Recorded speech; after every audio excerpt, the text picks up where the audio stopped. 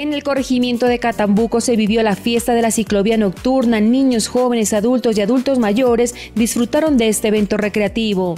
Un agradecimiento inmenso a Pasto Deporte por traernos esta actividad al corregimiento de Catambuco. Mi nombre es Doris Canchala, soy líder de Zarandeate Catambuco.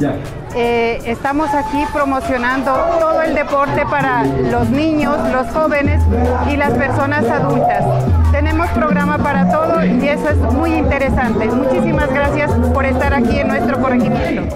Este fin de semana la comunidad podrá participar de forma masiva en la ciclovía dominical y actividades físicas alternas en la Plaza del Carnaval y puntos de deporte sector de Santa Bárbara y Morazurco.